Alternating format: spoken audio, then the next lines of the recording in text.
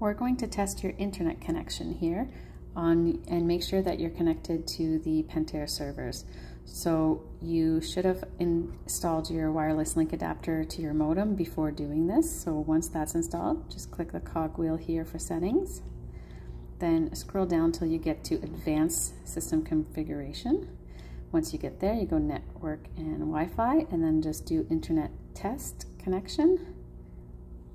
If you have everything hooked up properly, you should just say you're connected to the internet.